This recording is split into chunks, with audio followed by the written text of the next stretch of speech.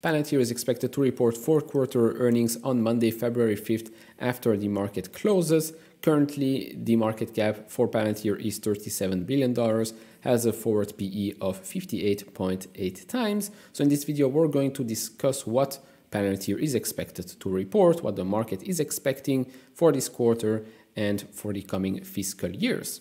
Now, currently, as you can see, Palantir stock, forward PE, EV to EBITDA, price to sales, is lower than the four year mean.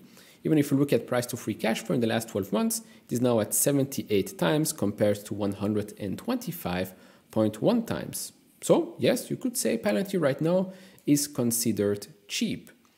Now, of course, what most of us want to see from Palantir is continued acceleration with regards to revenue growth. When you look at a software company, we want to see sales go up faster. We know that margins are going to be high, and so if we can get accelerated sales, that would be great. That would help top and bottom lines. Now, of course, we've talked about boot camps a lot. I think that segment is going to help Palantir already in 2024. I don't know if we're already going to see big numbers in Q4, but I do expect a major impact for the guidance for the fiscal year 2024. Now, Palantir themselves, they guided for revenue between 599 to 603 million dollars for Q4, adjusted income from operations of 184 to 188 million dollars, and of course, being GAAP net income. And for full year 2023, they raised their revenue guidance to be between 2.21 to 2.22 billion dollars. They also raised their adjusted income from operations guidance to between 607 to 611 million dollars, and they continue to expect GAAP net income in each quarter of this year. And so, what are the analysts expecting for the coming fiscal years? Well, for fiscal year 2024, they expect sales growth to accelerate, by the way, close to 20% year over year, EPS growth growing 19.19%. Then in fiscal year 2025, another 20% growth in sales and a 21.15% year over year growth for EPS. Now, to me, that is the minimum that I'm expecting. Again, 20% growth for sales is a minimum for me as a Palantir investor that I'm expecting from them, especially after everything that we've been hearing with regards to AIP bootcamps, AIP cons from their clients, from management itself. I think 20% is the minimum that we should be expecting. And if that's the minimum that we're getting, we're going to get guidance 24 hours from this video, then we should also see the bottom line grow faster. And so the multiples will become lower, of course, depending on how much the stock goes down or up. Now, diving a little bit deeper with regards to the expectations, more specifically, net income adjusted. Currently, the expectations are for Q4 for it to be 175 million. But actually, if we go from Q3, 155 million, the expectations are for it to remain flat up until Q3 of this calendar year. So the market right now is really not expecting any growth with regards to net income, really not expecting any growth with regards to EPS adjusted or even GAAP for that matter. Then continuing here with regards to cash from operations and free cash flow. Free cash flow is actually expected to be down 25% quarter over quarter to $98 million. Cash from operations is expected to be up 22% quarter over quarter, and then another 10% quarter over quarter in Q1. Free cash flow is also expected to reaccelerate next quarter. But again, overall, the market is currently expecting Palantir to grow just a little bit and for it to be a bit volatile. So you have some ups, you have some downs, and that's what the analysts are expecting for the next coming quarters. Of course, the higher the free cash flow, the better. They can do more buybacks, they can invest in other things. In my opinion, free cash flow is always the best metric to look at. Now, before continuing, if you enjoy this type of videos, leave it a thumbs up, subscribe if you have not, would really appreciate that. For support me even further, do check out the link down in the description and in the pinned comment to get the top 10 best stocks to buy now, or go to fool.com forward slash couch investor. Thank you very much.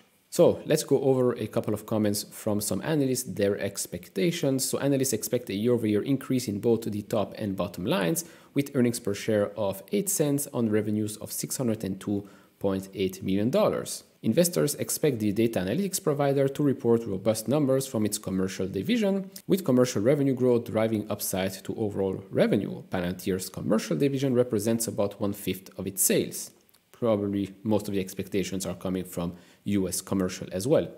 However, Palantir's overall growth is expected to lag rivals such as Snowflake and Databricks, Databricks, of course, being a private company due to widening cracks in the firm's US government, international government, and international commercial business. This is a comment according to investment firm William Blair. See the company's government and international commercial segment weighing on its fourth quarter results. Palantir is also expected to guide to full year expected outlook to a wider achievable range and narrow the range down throughout the year. Okay, we've seen that play out before. Then, analyst at Jefferies the Q4 setup is mixed, with a high hurdle on commercial growth that implies the largest quarter-over-quarter increase in over 8 Qs and more tempered expectations on government growth. Brokerage Jefferies noted Palantir has faced some execution issues over the past several quarters, with growth stalling in both its government and commercial business. Yes, it's true, we've talked about that. But again, with the comments that we've gotten from AIPCon, from the boot camps as well, growth should continue to reaccelerate. So that's what I said. I don't think we're going to see those numbers already now in Q4, but definitely in the outlook for fiscal year 2024. If that's not the case, then probably the stock gets hit. Now, last thing I want to touch on real quick is this partnership. So Palantir partners with one of Australia's leading retailers, that's Coles Supermarkets. They announced a three-year partnership to deliver a suite of workforce strategy and analytics tools. Palantir's platforms will bring an innovative approach to driving operational excellence and improving the way Coles designs, executes, and continue enhances its end-to-end workforce strategy and integrated supply chain functions. Now, this is a big partnership. Now, how much this contract is worth, I don't know. Just like with many other contracts, we didn't really get a figure to work with, so remains to be seen. Now, I've already seen a lot of comments with regards to this, with regards to the fact that Coles did partner up with Microsoft a couple of years back. For example, here in 2019, Coles takes trips down the aisles with Microsoft spurring transformation with AI and cloud to help Coles win in its second century.